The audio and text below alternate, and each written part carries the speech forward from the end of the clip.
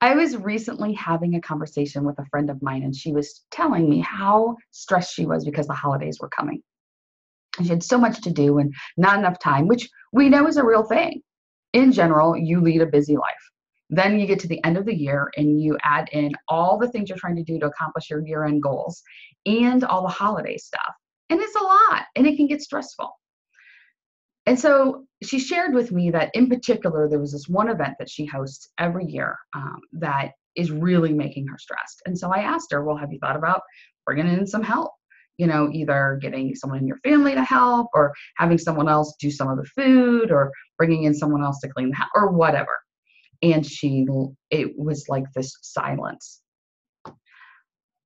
in fact, I checked my phone to make sure we had not been disconnected. and she kind of sputtered and said, This is a big deal to me. I have to do all the details myself.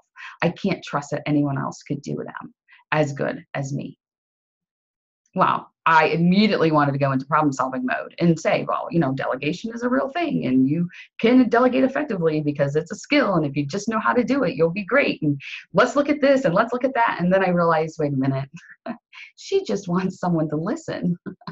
and so I did.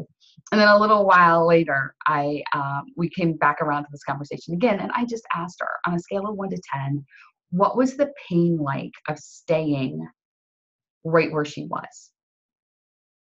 versus what was the pain like if she were going to reach out for help. Because when it comes to making changes and improvements in your life, the pain of doing something different needs to be less than the pain of staying where you are. And so, if the pain of staying where you are is less than the pain of making the change, you'll never make the change. In her case, the pain of where she was, feeling stressed about this thing, was not greater than the fear she felt of reaching out and asking for help. And so she's going to go through this one more year, and then we'll see what it looks like next year.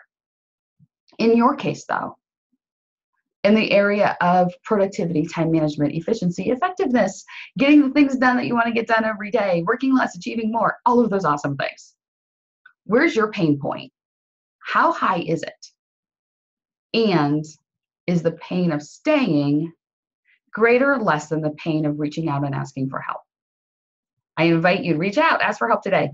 You can reach me by posting a comment below or shooting, uh, hitting reply to this email if you're watching it in video form.